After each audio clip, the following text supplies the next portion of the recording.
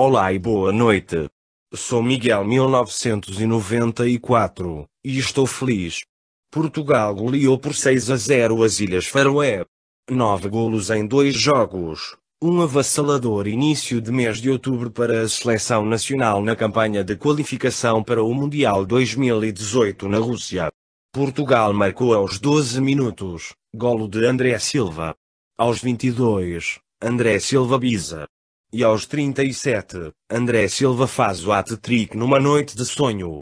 Na segunda parte, Cristiano Ronaldo faz este grande golo aos 67 minutos, fazia o 4 a 0.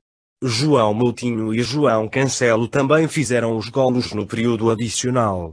O próximo jogo será contra a Letónia, para continuar a alimentar o sonho para o Mundial.